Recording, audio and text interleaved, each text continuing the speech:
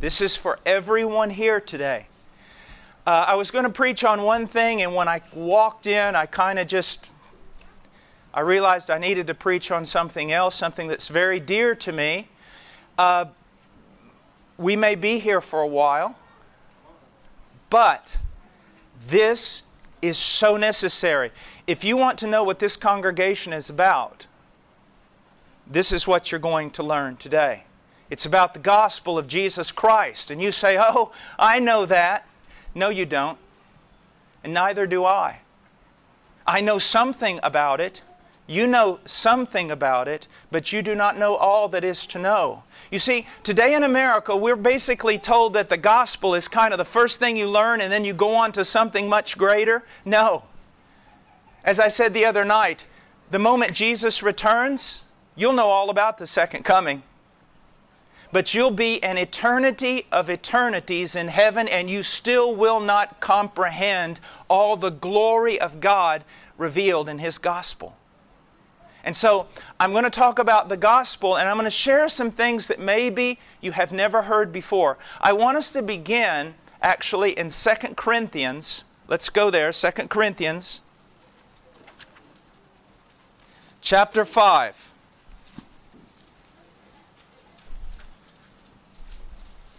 Verse 20 and 21.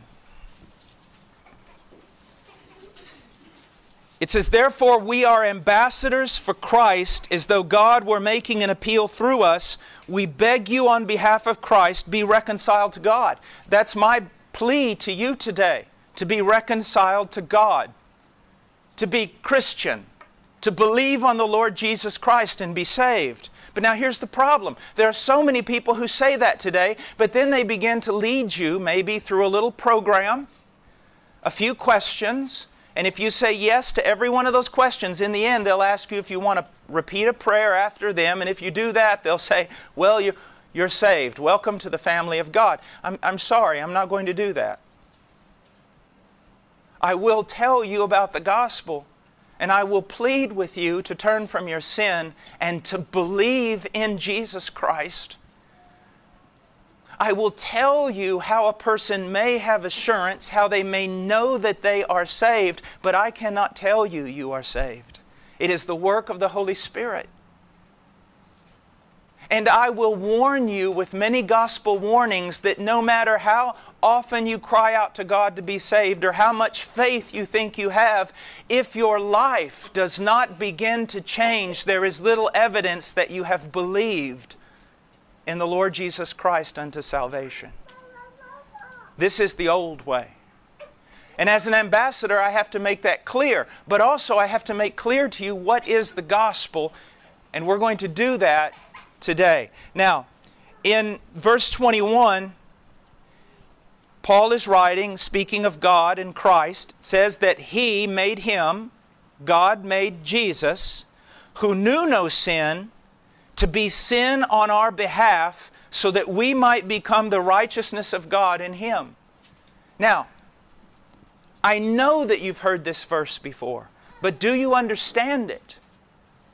Now let's look at the first part. He, God, made him, Jesus, who knew no sin, to be sin on our behalf. You know there are many things that Jesus did that were quite amazing, weren't they? I mean, absolutely astounding. He cast out demons, he walked across the water, he calmed the seas, he raised the dead, he did so many things. But you know what I believe is the most astounding thing about Christ?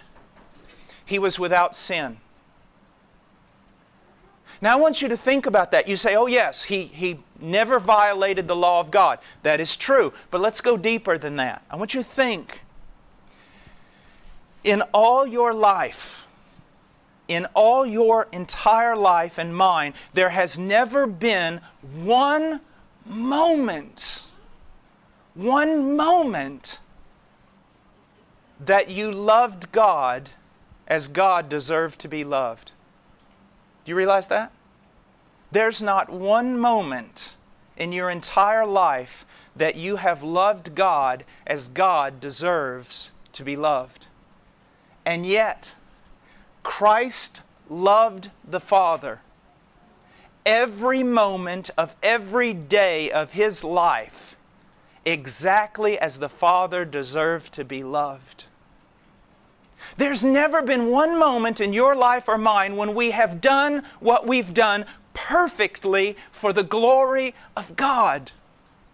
Not one time, but every action, every word, every thought that Christ ever did, that He ever had, every one of those, He did them perfectly for the glory of God. Do you want to be saved by your own good works? Then this is what you have to do. You have to replicate, imitate Jesus Christ in every way from the moment of birth to the moment of death. I think you can see you failed. Think about that. Someone asked me one time, Brother Paul, what's the greatest sin? And just kind of joking around with them, I said, Well, I suppose the greatest sin would be to break the greatest command. The greatest command is to love the Lord your God with all your heart, soul, mind, and strength. You've never done that. And neither have I.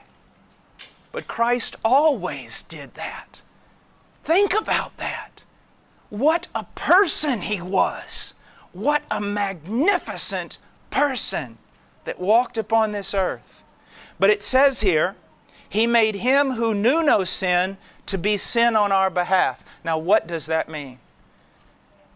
If you know anything about theology, you know this, we're getting into a very dangerous place right now. What does it mean that the Father made him to be sin on our behalf? Some of the greatest theologians in the world have said, Be very, very careful what you say now. Don't say too much, don't say too little. This is a very difficult text. See, you've read it many times, but have you ever sat down and says, What is he saying? Does it mean that when Jesus Christ was on the cross, somehow his perfect nature became defiled and corrupted? became sinful? Did he somehow devolve from this magnificent being that he was into something morally grotesque and defiled like sin? Is that what it means? Absolutely not. There was never a moment on that cross when he was anything other than the spotless Lamb of God. Absolutely perfect, then what does it mean that he was made sin? Well, the answer is in the second part of this verse. It says, He made him who knew no sin to be sin on our behalf, that we might become the righteousness of God in him. Now, all we have to do is ask ourselves, how does a believer become righteous? What does it mean that a believer becomes righteous? Well, this is what it means. The moment that a person believes in Jesus Christ, it does not mean that at that moment they become perfectly righteous and never sin again. It doesn't mean they become a perfectly righteous creature incapable of sinning. The term is a legal term, a forensic term. It means this that the moment you believe in Jesus Christ, before the throne of God, you are legally declared to be right with Him. And not only are you legally declared to be right with God now, but God treats you as one who is right with Him. Isn't that a magnificent truth? He's declared you right with Him legally because of what Christ did for you and then He treats you as someone right with Him. Not based on how you lived that particular day, but based upon the perfect finished work of Christ. Now, let's take that over to what it means that God made Him who knew no sin to be sin on our behalf. It does not mean that on the cross Christ became corrupted or defiled in any way as to his person or his nature. It means this that the sin of God's people was imputed to Christ. Our sin was put on him. When a believer believes in Jesus, not only are they pardoned, but the righteousness of Christ is given to them. It's as though they're dressed in Christ's righteousness. But on that tree, our sin was put upon Christ. Do you see that? It was imputed to him, considered to be his, even though he was the spotless, undefiled, impeccable Lamb of God. Our sin was placed upon him, our guilt was placed upon him, and the Father treated him as he should have treated us. Do you see that? How should he have treated us? The wrath of God the righteous anger of God should have been poured out on all humanity because of our crimes. But our guilt was placed upon Christ. And what we deserved was placed upon Him. Now, the guilt He bore was our guilt. It was an imputed guilt. But that does not lessen the pain of it. It was real guilt. Imagine a man who is born in sin, who lives in sin all of his life. He is a man of unclean lips and he dwells among a people of unclean lips. He's accustomed to sin. He's accustomed to judgment. He's accustomed to God's frown. And yet, the Bible says when he dies and stands before God, it will be horrifying for that sinful creature to stand before a holy God. The shame even though this man's heart is as hard as stone, he will bear an unbelievable shame because of his sin. Now imagine this the holy, undefiled Son of God, who knew nothing of sin, had never offended his Father, only knew his Father's smile, and that is all. On that tree, in one moment, he bore all your sin and all your guilt, and he felt the Father's frown. There's no way to describe what that is like. Imagine for a moment that some of you ladies who have never never even hardly touched your toe to the pavement. You've lived a sheltered life of all cleanliness and goodness. And you go up, let's say, to Chicago, and you're witnessing on the streets. And you come amongst a group of prostitutes, hardened and defiled, corrupted, and you begin to witness to them. And all of a sudden, the police show up and grab all of you and throw you in the paddy wagon. Now, the prostitutes have been through this a million times, haven't they? They're laughing, joking, cussing at the policeman, but you, you can hardly breathe. Your shame is so great. You feel so soiled. You've never experienced anything like that in your life. And then they take you down to the precinct and they, they ha- handle you roughly and they fingerprint you and they make fun of you and they take your picture and they throw you in jail. And while you're sitting there in that cell, all the other prostitutes are just talking about who's going to come and bail them out and they're filing their nails and telling jokes and having a good time. It doesn't bother them at all. But you, you are eaten up inside. The shame of it. Do you see? You're not accustomed to such things and you feel soiled. Now imagine the Christ who knew no sin, and yet on that tree, your guilt, your sin was imputed to him. And the Father treated the Son as he should have treated you. Now that's an amazing, an amazing thing. Now, there's a text of Scripture in the book of Galatians chapter 3 that says this Cursed, verse 10, cursed is everyone who does not abide by all the things written in the book of the law to perform them. Now, I want to talk about you and I prior to Christ. And I'm going to say some very, very hard things. But the reason I'm going to say them is so that in the end, you get an idea of what Jesus did for you. Now, Cursed is everyone who does not abide by all the things written in the book of the law so as to perform them.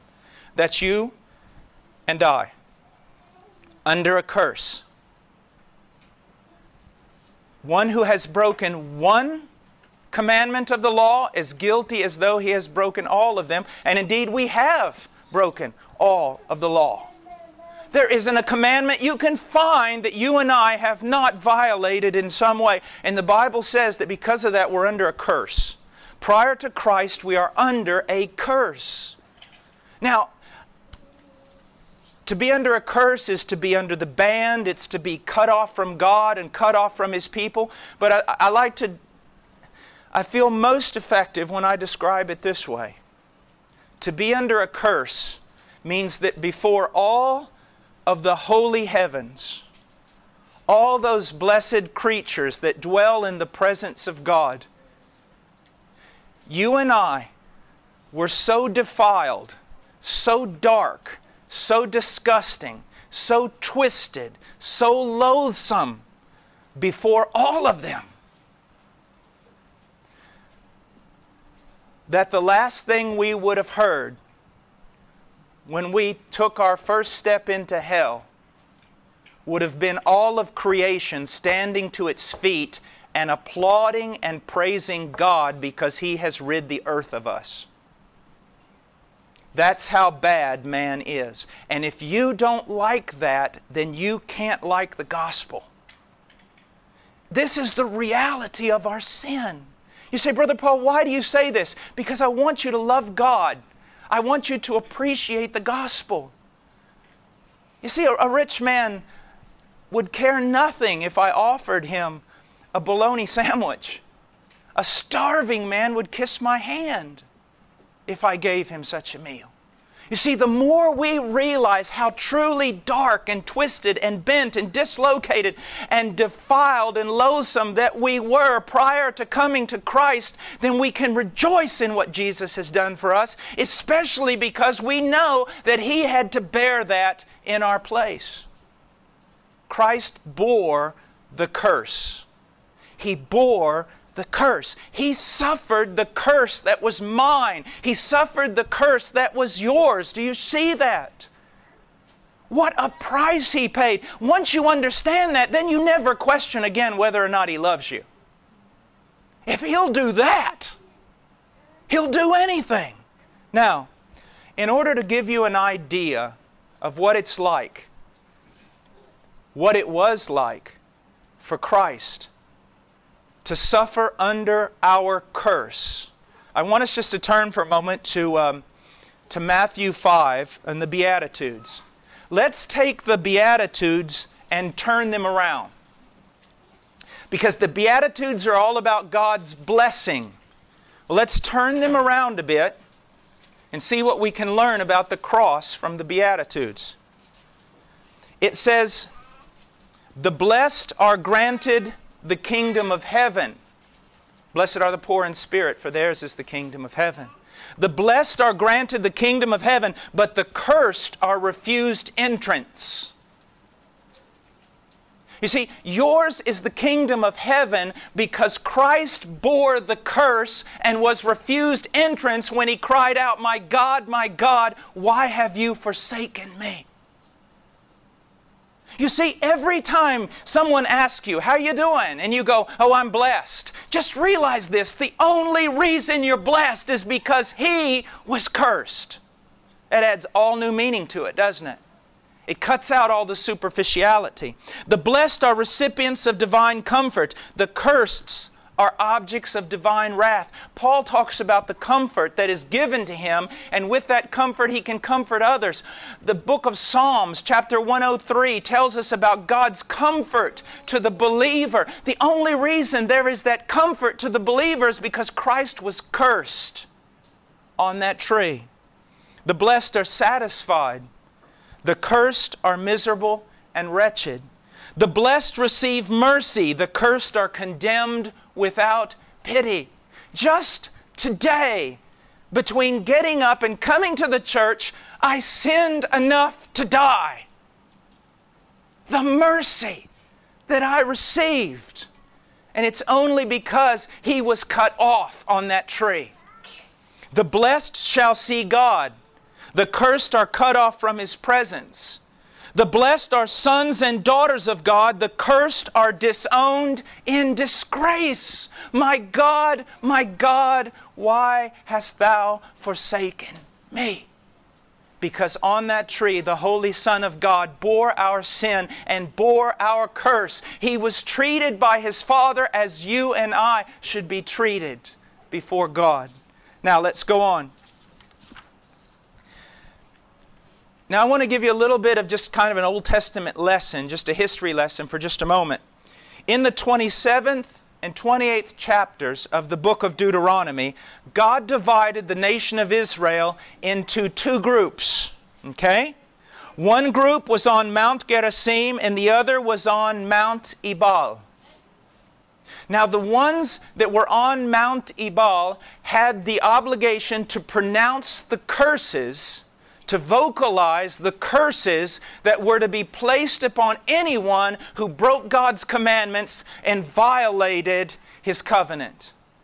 And then on Gerizim, all the blessings were to be pronounced, vocalized from that mountain, screamed forth in a loud voice all the blessings that were to fall upon the head of the one who kept God's covenant and obeyed all his commands. Just so you see what we have here two mountains Mount Ebal and the proclamation of curses falling on anyone who's disobedient to the law, and Mount Gerizim, the proclamation of blessing pronounced upon anyone who was obedient, who was a covenant keeper. Now, here's what I want you to see your mountain, my mountain, is Mount Ebal. We have broken God's covenant. We have disobeyed every command. All of us, every one of us, there's only one group of men. There's only one race of men. There aren't many races of men. We all come from Adam. We are all sons of our father Adam, and every one of us, like our father, has been disobedient, has broken God's commandment. Do you see that? Broken His covenant. Every one of us. We are united in rebellion against God. We are family. So Mount Ebal is ours. Mount Gerizim belonged to Christ, the only one who was the covenant keeper. He kept every commandment of his Father. He, he honored the covenant every second of his life. He did, he did, he did. But on the cross, it was switched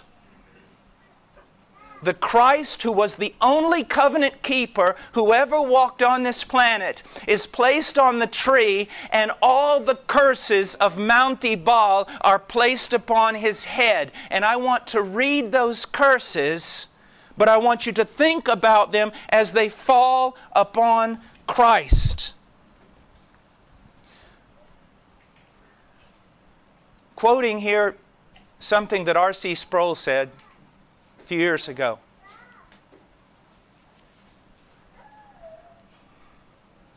When Christ, bearing the guilt of his people, looked up into heaven and cried out, My God, my God, why hast thou forsaken me?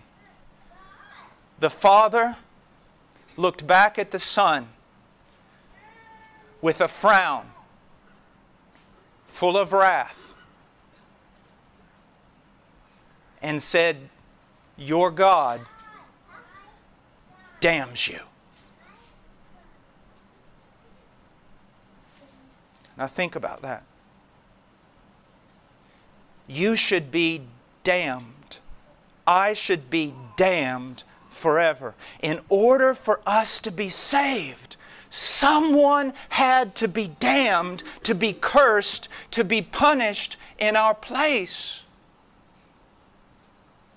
Now, here are the covenant curses from the law.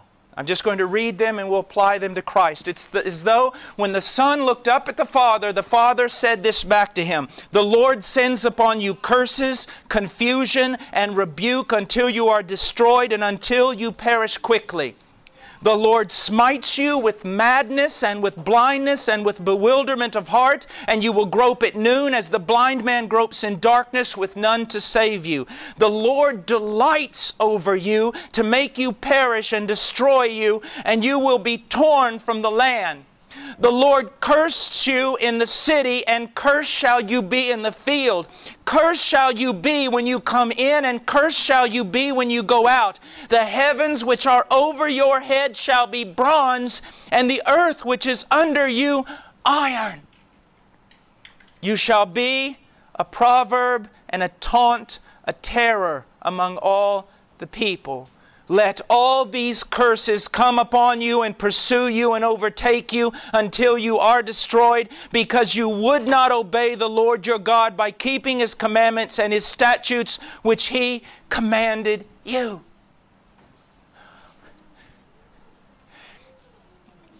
He was cursed on that tree as a man who makes an idol and sets it up in secret. He was cursed as one who dishonors his father or mother, who moves his neighbor's boundary mark, or misleads a blind person on the road. He was cursed as one who distorts the justice due an alien, orphan, and widow. He was cursed as one who is guilty of every manner of immorality and perversion, who wounds his neighbor in secret or accepts a bribe to strike down the innocent. He was cursed as one who does not conform or confirm the words of the law by doing them. All the curses that should have fallen upon your head and fallen upon mine fell upon Christ, the holy, precious Son of God. God is holy. He is just. He cannot simply ignore your sin. He can't pass over it. He cannot just forgive you. Payment must be made. The righteousness of God must be satisfied before there can be peace. The only way to satisfy that justice is for wrath to be poured out on the head of the sinner. But Christ took the place of the sinner and suffered what the sinner deserves. There's an amazing passage in Proverbs that says this Like a sparrow in its flitting, like a sparrow in its flying, so a curse without cause does not alight. No curse could alight upon Christ. He was holy, he was blameless. Then how did the curse alight? Upon one, the only covenant keeper. How did it happen? Because on that tree, that covenant keeper bore your sin. He bore every violation that you have committed against the righteousness of God. The psalmist David cried out this How blessed is he whose transgression is forgiven, whose sin is covered. How blessed is the man to whom the Lord does not impute iniquity and in whose spirit there is no deceit. Now look at this. Blessed is he whose transgression is forgiven, whose sin is covered. God cannot cover sin. He can't just cover it as though it never happened. That would make him just as unjust as us. He can't cover it, he has to take it away. It has to be paid for. That's what happened on that tree. Do you see? Maybe you really never have understood the gospel. You see, you can't contain this in four spiritual laws or a tract that's about five things God wants you to know. This is the gospel. You think there's no power in the gospel? It's because no one's preaching it. There is power in the gospel, but this gospel is scandalous. Men hate it. They're offended by it. They grit their teeth. They refuse to hear because it tells man what he is. He doesn't want to hear it, but he must hear it in order to be saved. Now,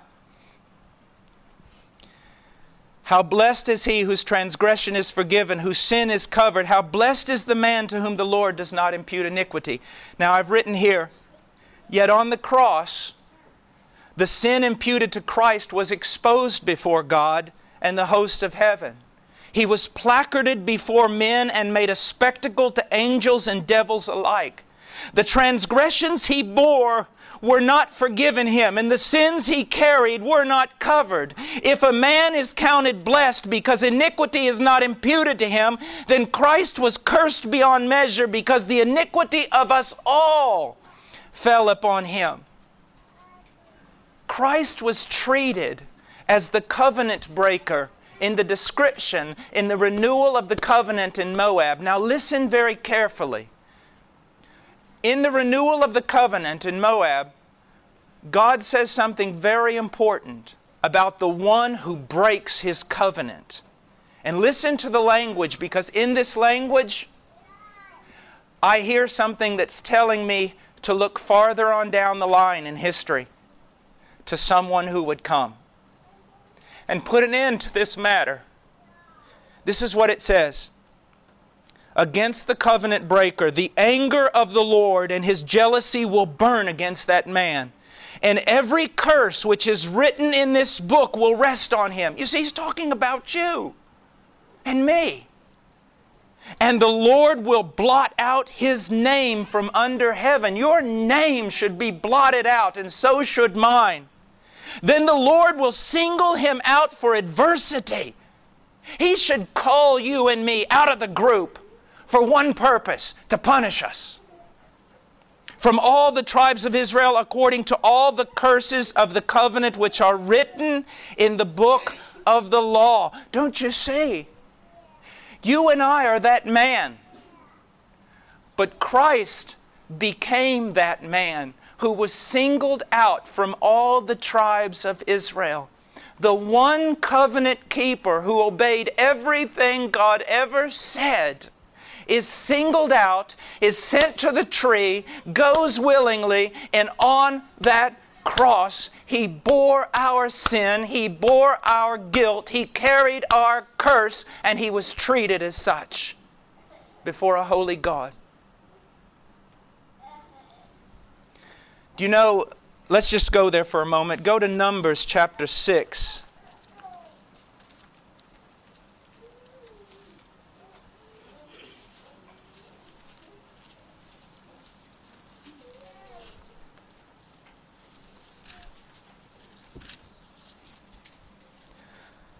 Look in verse 24. We have what is called Aaron's benediction. This was the blessing that was to be spoken to the people of God. Verse 24 The Lord bless you and keep you. The Lord make his face shine on you and be gracious to you. The Lord lift up his countenance on you and give you peace. That's the heritage of God's people. That's what has been given to you. But now you ask the very important question How could such a blessing be given to such a sinner as I? It is because this blessing was turned on its head and poured out on Christ. The Lord curse you. The Lord give you over to destruction.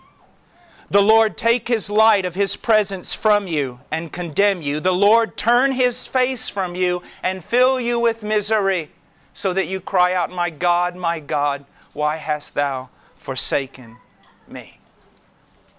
Now, I want us to think about something for a moment. When you hear preaching, especially at Easter, about the cross of Christ, you hear about nails in his hands and whips and what the Romans did to him. And, and that's, that's very important to proclaim. But if that's all you hear about the cross, that he was beaten, that he was nailed to a tree, that a crown of thorns was on his head, that a spear went into his side, then you have not heard the cross preached. You have not heard the cross preached. I remember when Mel Gibson came out with the movie The Passion, which I, I've never seen. But I remember getting so many emails from pastors all around the country saying, What do you think about that movie? Do you accept it? Do you have problems with it? And I wrote every one of them back. I have more problems with the way pastors preach the gospel than I do with Mel Gibson's movie. Mel Gibson's movie, apparently, from what I'm told, attempted to show the grotesque physical torture that Christ underwent on behalf of men. And I assure you, it was far worse than what anybody could portray because it says that he was so disfigured as a human being that you could no longer tell he was a man. So that is important. But that is not even the beginning of what happened. Do you remember when Jesus was on the in the garden and he cried out, "Let this cup pass from me. Let this cup pass from me. Let this cup pass from me." Everyone always asks the question, what was in the cup? What was in the cup? What is it that Christ agonized over in the cup? And I heard people say, well, you know, Christ could foresee the cat of nine tails coming across his back, and Christ could foresee the crown of thorns, and Christ could foresee the nails in his hands and what the Romans would do to him. No.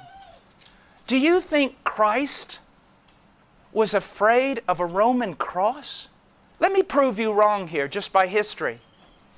After Christ died, at least for the next 300 years, thousands upon tens of thousands, possibly, of Christians were crucified. And we have the testimony that most of them, many of them, went to the cross singing hymns, counting it a joy to die for their master. Now, are you going to tell me that the followers of Jesus Christ joyfully accepted the cross being nailed to a tree while the captain of their salvation was terrorized in a garden? Do you honestly think the captain of our salvation, the mighty Christ, the one true Israel, was trembling over what the Romans could do to him? The cup, although it contained a Roman cross, was not filled with a Roman cross. That cup was filled with the wrath of Almighty God. The judgment, the fierce, holy hatred of God against our sin, that is what Christ wished to detour. But being obedient to his Father, he said, Not my will, but yours. Listen, let me share with you first of all from Psalm 75 and then Jeremiah 25. Psalms Psalm 75 8 For a cup is in the hand of the Lord, and the wine foams. It is well mixed, and he pours out of this. Surely all the wicked of the earth must drain and drink down its dregs. It's a cup for the wicked of the earth. It is the judgment of God for the wicked of the earth. And then Jeremiah 25 says this For thus the Lord, the God of Israel, says to me, Take this cup of the wine of wrath from my hand and cause all the nations to whom I send you to drink it. They will drink and stagger and go mad because of the sword that I will send among them. Can't you see? The cup that was dreaded by Christ was the wrath of God that you and I should suffer, but that He suffered in our place. This is the gospel. This is what happened on that tree. Now let's go on. Just two illustrations quickly. Imagine a, a dam filled to the brim, thousand miles high and a thousand miles wide. And at the bottom of that dam is your tiny village, an eighth of a mile away, in the ravine. And all of a sudden, you wake up one morning and you hear a mighty crack, and the wall of that dam has totally disintegrated. And with a matter of a second or two, you will perish to be disintegrated, to never be seen again on the face of the earth.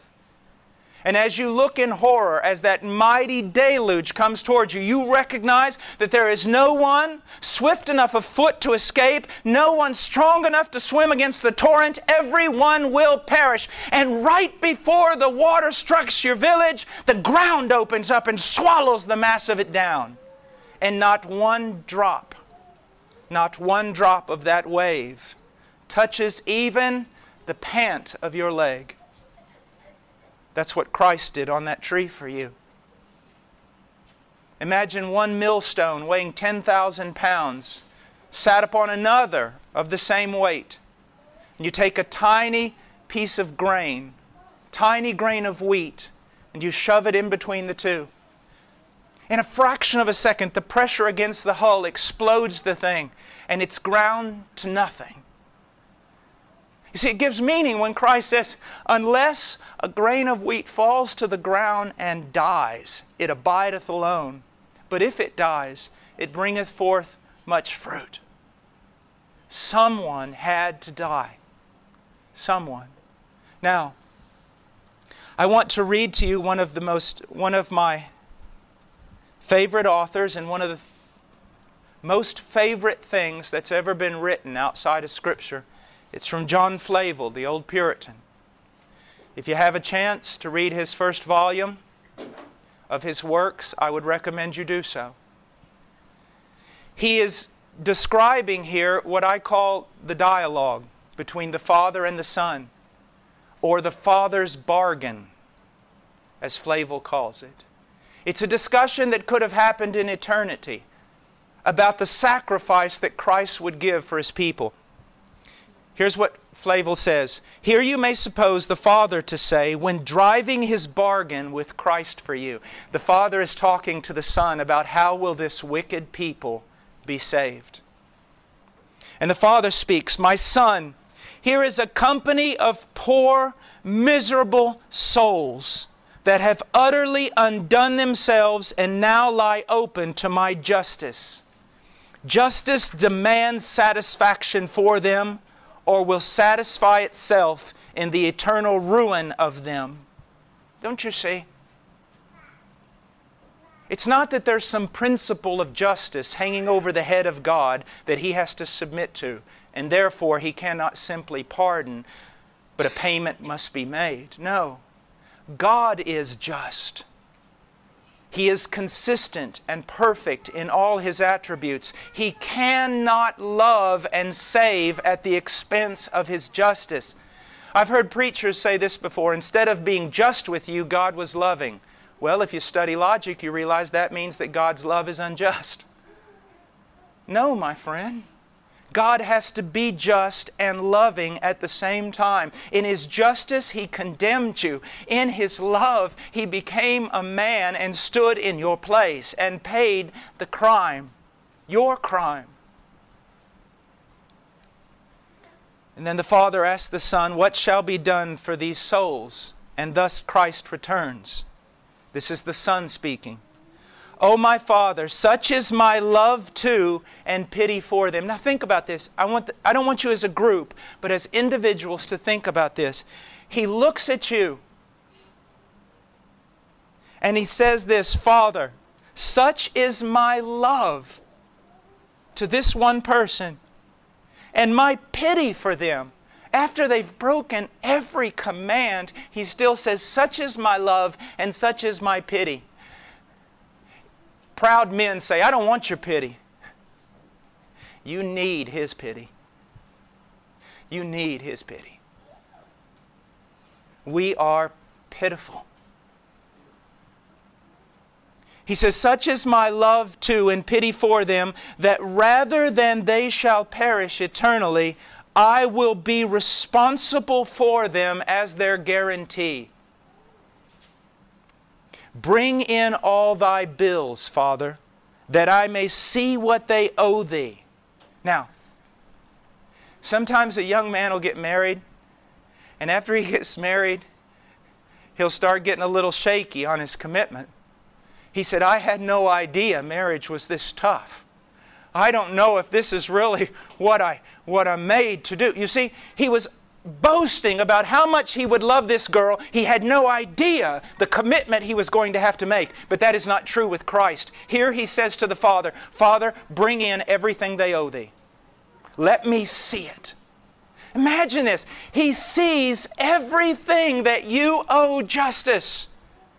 He doesn't go to that cross blindly. He doesn't get on the cross and say, No, Father, I don't want to do this. I didn't know it would cost so much. He knew from eternity how much it would cost him, and yet he still did it. But listen to this Bring in all thy bills that I may see what they owe thee. Lord, bring them all in. Now listen, believers, if this doesn't make you so happy you weep or cry out for joy, you're not understanding what I'm saying. He says, Bring in all the bills. Bring them all in that there may be no after reckonings with them. Do you see what he's saying? Bring in every one of their bills from the time they were born to the time they die, everything they owe thee, Father. Bring them all in. I want to see them all, and on that tree, I want to pay for them all there so that you never have to deal with them again with regard to their sin. Do you see that, believer? He never has to deal with you again. It's over. All your crimes are paid for. Your crimes in the past, your crimes in the present, your crimes you're going to commit in the future, all of them paid for. And some people say, well, if you tell that to people, they'll just sin. No, they won't. Not true believers carnal, wicked, lost church members will hear that and go on sinning. But believers will say, if His love is like that, if He has set me free completely, I'm His. I don't want to sin anymore. I don't want to sin anymore. You see, brothers, that's what leads to holiness. That's why the gospel is called the mystery of godliness. You see that? It's the thing that produces godliness in the believer. Yes, there are commands and there are rules, but that's not what makes us godly. What makes us godly is knowing that Jesus died and that He died for me. And when He died, He paid for every sin, past, present, and future. And God will never again, never call me into His judgment hall to judge me. Never again. I'm free. I'm free. Oh, thank God I'm free. And you say, but Brother Paul, it says that there's going to be a judgment for a believer. Yeah, but listen to this. In that judgment, when you look up into the, ju- the judge's face, it will be your father, it will be your brother, The one who judges you is the one who died for you. Don't you see that? You're free. You're free. No guilt. Always come to Him. Always go back to Him. Always run to Him. You're free. You finally walked through a door that no one in this world knows anything about. It's unconditional love. You're just loved, and it can't be changed now because of that perfect work of Christ on that tree on your behalf. He says, At my hand shall thou require it, Father. I will rather choose to suffer the wrath they deserve than they should suffer it. Upon me, my Father, upon me place all their debt. This is amazing. Now listen to what the Father says. But my Son, if thou undertake for them, if you stand in their place, son, thou must reckon to pay the last mite. You must pay every penny. Now listen to this. Expect no abatements. He's saying, son, don't expect the punishment to fall on you to be anything less than what would fall upon them. And this is what the Father says If I spare them, I will not spare you. Imagine that. And then the Son says, Content, Father, let it be so. Charge it all upon me. I am able to discharge it. That right there, that's deity. No one can say that. Angels can't say that. No one can say that. Only the mighty Christ, only the Son of God can discharge it. He alone and no one else.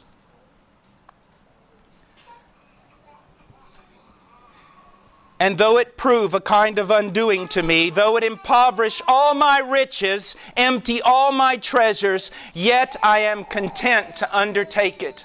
Father, I am content. I'll do it. I want this. Do you know in Philippians where it talks about he did not consider equality with God a thing to be grasped? He set that aside. He became a man, and not only a man, but a servant.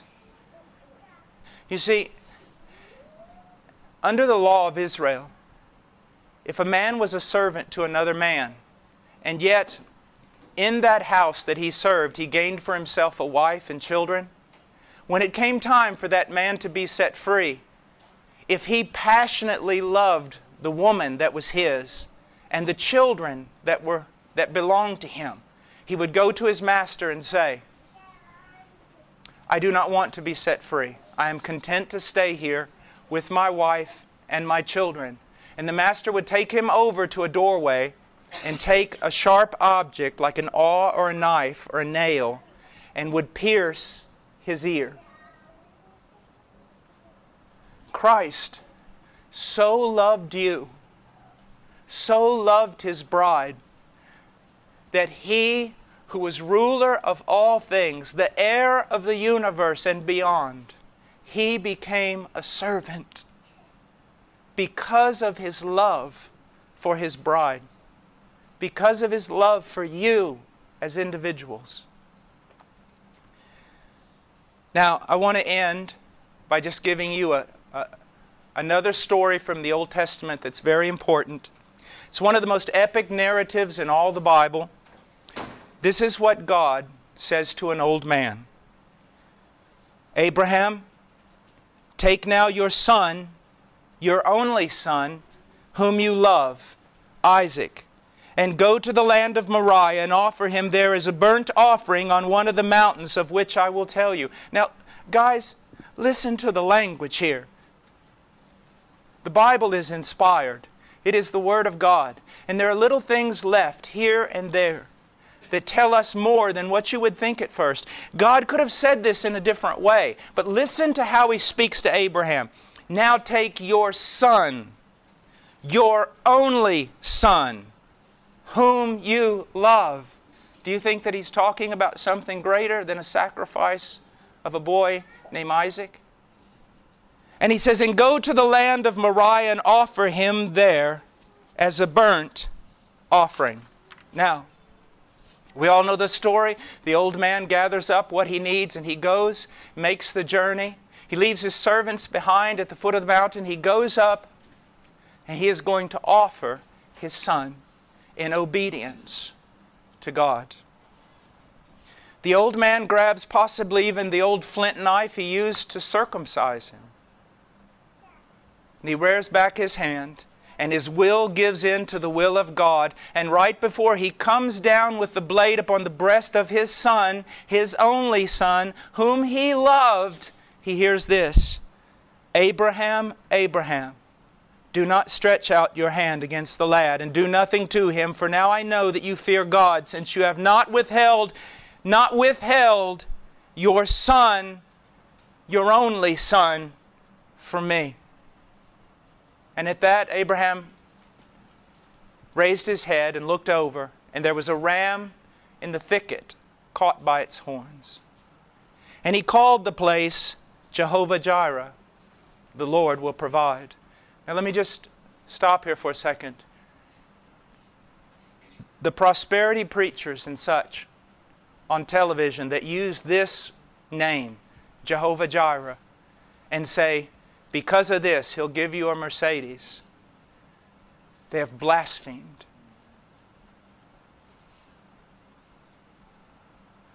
And they have shown the real intention of their heart that they are unconverted and they know not God because they would rather have the things of this world than what God is really promising here. His Son, His only Son, whom He loves. Now, He will provide for His people. But, oh, my dear friend, if you have the Christ, what else do you need? What else do you need? Now, we hear this story come to an end, and we think, oh, wow, Thank the Lord. The boy was spared. What a great ending to the story. The only problem is, it wasn't the ending, it was the intermission. And when the curtain opens back up, there you see him. A dark stage, a dim light, a cruel cross, and God's Son, His only Son, whom he loved hanging on a cross.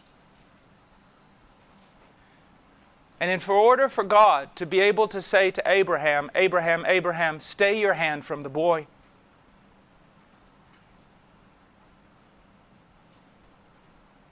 Well, when Christ was on the tree, it's as though the Father took the knife out of Abraham's hand And when Christ cried out, My God, my God, why have you forsaken me? He drove the knife straight into the heart of his own child. You see, someone had to die under having suffered the wrath of God. And you know, we, have you never read in Isaiah 53:10, it pleased the Lord, it pleased Yahweh to crush him? To crush him. What do you think that means? To crush him. You see,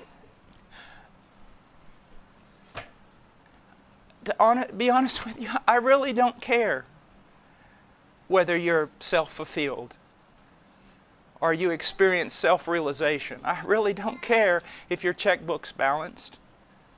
This church is not designed for you to get your best life in this world. This church and the preaching in this pulpit has one purpose that you will be reconciled to God and that you will love Him enough to throw away this world as though it were dung and to follow Christ with all your heart, soul, mind, and strength. And the motivation for it, such a following, is not a preacher throwing guilt upon you or manipulating you with a text no, the motivation is here. He shed His own blood for your soul. You are completely and perfectly loved. In the state you are in right now, if you know Christ, you do not have to move a quarter of an inch to the left or the right to be loved any more than you will be loved in eternity. You are loved. It is that motivation. You are free now from guilt. It is that motivation. Christ has paid it all. Now walk in that. Walk in that freedom. No longer be afraid. Rejoice. Be empowered by that, that He would pay such a price. I am sure that none of you even all of you combined, I am sure that you were not, in your unconverted state, half as vile and wicked as me. But if knowledge that you were such a filthy man will drive you to want only Christ, then so be it. Christ, Christ, Jesus Christ it's all, it's everything. There's nothing else. No, no. What will we get here, Brother Paul? If we come to this church, you will get Christ. And if that is not enough, then, well, there are many other groups who will offer you all sorts of things. But it's Christ, Christ that you need. And if you have Him, you have everything absolutely everything. Turn to Christ. I tell the young children, some of you have heard more gospel than you could ever, than, than nations have heard. Children, repent. Turn from your sin. Believe in Christ. Adults, you may be sitting there saying, I've never, never had the love of God shed abroad in my heart. My religion's in my head. It means nothing. Repent, turn to Christ. What shall I do? Seek Him and he will let himself be found by you. Seek him. I don't know how. We will stay here all day and all night opening up the scriptures to you. But we will not treat you with five minutes and then turn you away, making you think you're saved and claiming you as one of our own. Trust in Christ. I plead with you, trust in Christ and those of you students and, and others who have all kinds of plans for your life, it may be that God wants you to do exactly what you're doing. I do not know, but I know this you are to do it for His glory, for what He has done on that tree. Everything you do. Realize this, students. If you have a passion for Christ, it does not mean that you're to go into some, some ministry. What you need to understand is that if you truly believe in Christ, there is nothing secular in your life. That no matter what you become, it is holy unto the Lord and it's to be used for Him. Only for Him. Everything for Him. everything. If you need to talk about the condition of your soul today, then know this I will be here. Other men will be here. Just talk to us. We would love to just share with you anything. If you're saying, I don't even know if I'm saved, we'll open up the scriptures and help you, help you to know what the scriptures say about salvation. And if you say, Well, I just, my heart is grown dull. I know everything I need to know, my heart's just grown dull. Then seek Him. Seek Him. Seek Him. You don't need the counsel of men. You need to seek Him alone. Seek Him alone. Let's go to the Lord in prayer. Father, I come before you today and I pray, oh God, Lord, we thank you for Jesus Christ. We thank you, Lord, that the greatest poet, the greatest mind in the world could not even begin to, to comprehend or express the greatness of Christ or the beauty therein. Father, I pray for your people. I pray for those who are here today that you would strengthen them in a love for Christ and that that love for Christ would drive them on. But Lord, not so much that we love you, but that you love us. Lord, our love is not constant, but your love is constant and a constant motivation. Oh God, work in our lives and in our hearts. Change us, transform us to simply love and walk with your Son. In Jesus' name, amen.